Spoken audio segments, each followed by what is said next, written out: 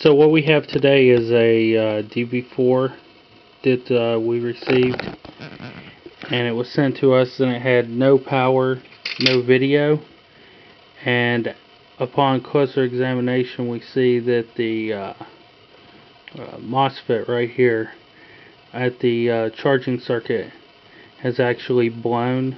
This is completely, uh, that's what we call a catastrophic failure.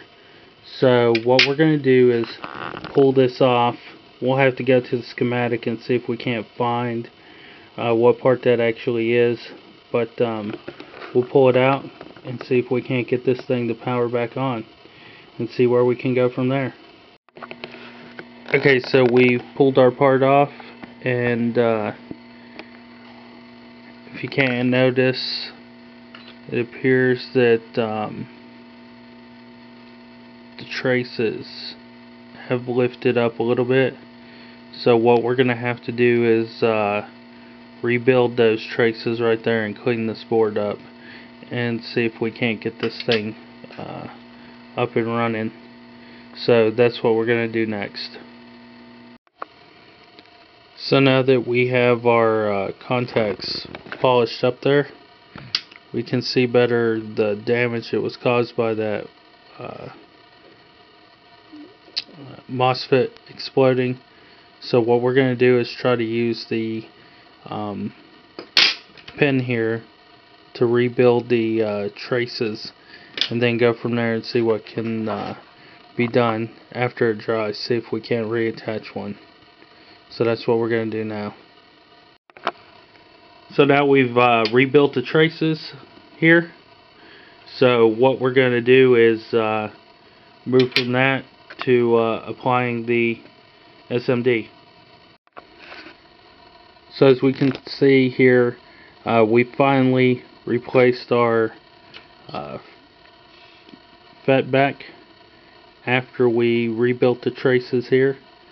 Um, so what we're going to do is uh, plug the DC power in and then uh, put a power switch to it that we have here in shop hook it up to the power supply and see what happens and go from there. So now we've uh, got our motherboard hooked up and um, got to the external video. What we're going to do is turn it on. So we see we get lights and we're just going to see if it's going to sync to the external which it does.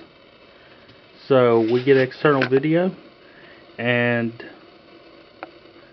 we're going to say this is finished. Uh, went from no power to uh, power sure enough. Saying that it needs to go in and check for the operating system and boot from the hard drive. So we're going to say this is a complete system. Uh, went from no power to power. Up and running. So, surprisingly enough, uh, our only issue was this uh, FET right here. So, once we changed this burned out FET, uh, rebuilt the traces, and um, did a little solder work, little pin work, uh, we got everything up and running. So, uh, like we said before, when we got video, got power, got everything go to external, we're going to say that that's a complete and uh, repaired system. So, uh, there's to uh, rebuilding the traces right there. Uh, not the prettiest job, but it gets it all done. Now, unlike the other videos that I've done before, uh, this time I've decided to do a little insight. So, um, because I know I'll get questions on it this is what I use to uh, rebuild the traces on the board. Um, this is a precision sander. Uh, it's sanded the corrosion off after we uh, washed the motherboard in the rubbing alcohol. Of course, we use 99% rubbing alcohol to do that. And then uh, precision sanded it to buff it clean, uh, get the corrosion off. And then we used uh, this circuit writer here to uh, rebuild the traces. Now of course if you're going to rebuild the traces you need to do it while it's cold. Um, and of course we used the hot air gun to uh, pull it off with a pair of tweezers. Now, tweezers that I use on a regular basis are not these. Uh, I use the flats. Uh, the pointy ones just don't get the job done. Uh, the flat ones do. So, on a regular basis I use the flat uh, tweezers to pull stuff off. So, you know, that's how that goes. Uh, as it with everything else, I got my trusty syringe full of uh, flux, and the flux that I was using this time happened to be Kester.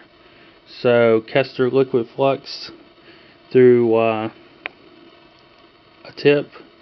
Uh, we use that for precision, and then um, the flat flat nosed uh, tweezers there to pull everything off then use the sander to buff it out uh, clean up the flux. It says no clean but don't believe it. And then uh, use the circuit writer to rebuild the traces and put everything back together with the hot air gun. So uh, that'll have it. That'll be that uh, for stuff that I use to get the job done on this one